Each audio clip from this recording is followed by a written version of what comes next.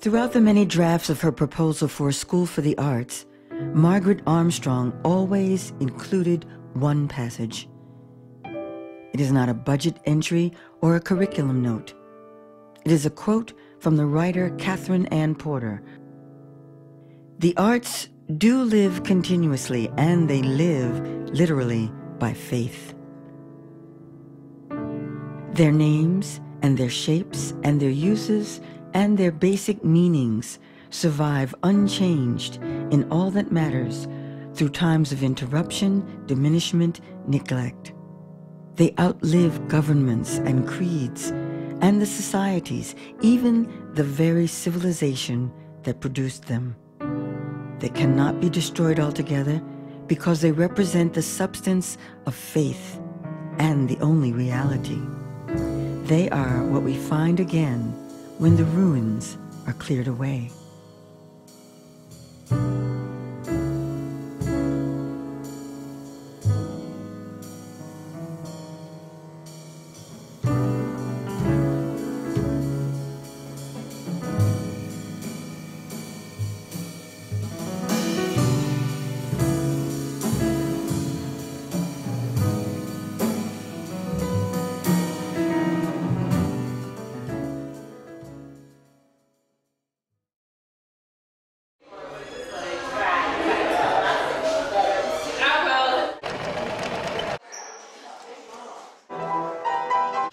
Do what?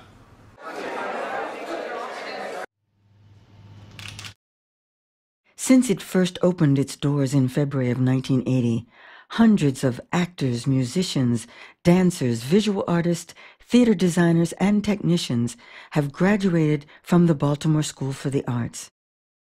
Some of the school's graduates have gone on to celebrated careers in the arts. Others have taken the lesson they learned as artists into other careers. Many of the students began their training at the school's TWIGS program, which serves more than 700 of Baltimore's elementary and middle school students. There is no academic requirement to enter BSA, yet the school consistently excels in most measures of academic performance. The students of BSA are chosen for one quality and one quality only artistic potential. How this school came to be and the extraordinary people who contributed to its making is the subject of this story.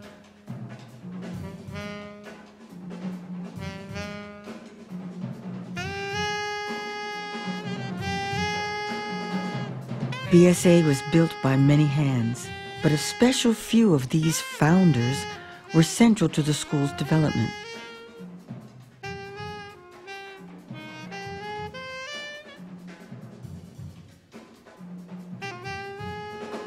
They saw the school develop from its earliest stages and helped it to grow into something wonderful.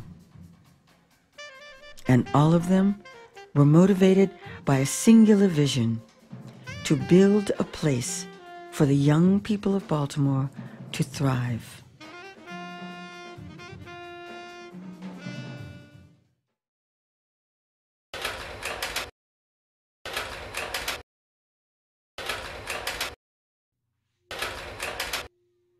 The struggle for civil rights and economic equality is the backstory of every American city. In Baltimore, this was most visible in its schools. Uh, in 1954, when uh, Brown versus Board of Education came down, the school system moved immediately to integrate. But 10 years later, shifting demographics had erased virtually all progress made in desegregation. It wasn't very much that made you feel like it, it was going uh, to happen, that anything was going to happen for you. Children whose parents had money, they made a difference. But the children that didn't have the money, they didn't make the difference because they couldn't. In 1965, President Lyndon Johnson sought to address economic inequality in the nation. And this administration today here and now declares unconditional war on poverty in America. He passed the Elementary and Secondary Education Act, which was designed to close the gap between low income and high income districts. Title I was huge for the city. They got a lot of money in the in, in mid 60s after, after that act was passed. It inspired many to begin projects that addressed inequality, including one tenacious Baltimore City School music teacher. Margaret Armstrong is considered by many to be the mother of the Baltimore School for the Arts. She graduated from Coppin College. She worked her way up to become a citywide school administrator of the arts. Early in her career, Margaret made many efforts to bring the performing arts to Baltimore's schools. She was a credible, a very credible person in Baltimore City at that time. She was the head of the music uh, department in all of the schools.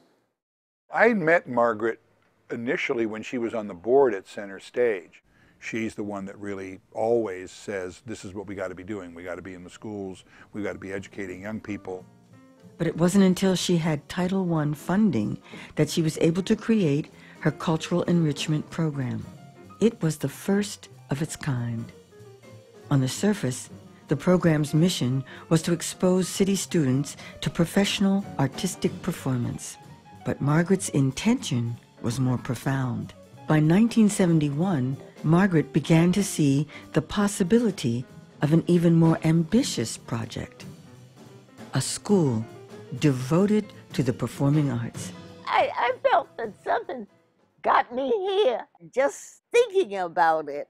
There were children that were ready to be different. And that's how we began to think about the school as a school in which we were going to have children thinking about what they were going to do and what they were going to be, what they were going to become. She petitioned the school superintendent, Roland Patterson.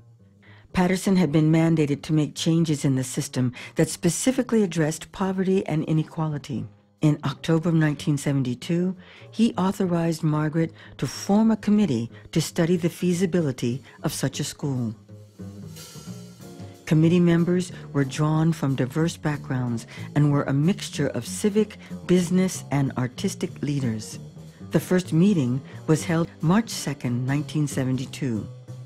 The minutes from that meeting suggest it was a whirlwind of ideas. Where should the school be? Who would attend? How would they choose the students? But in many ways, this was the worst time to start a school The school board is badly misbehaving, and so many people were fired or moved to another job, sometimes with no explanation. With so many personnel changes, there was simply not enough stability in the system to start new projects. Suddenly, it seemed like there might not be a school for the arts after all.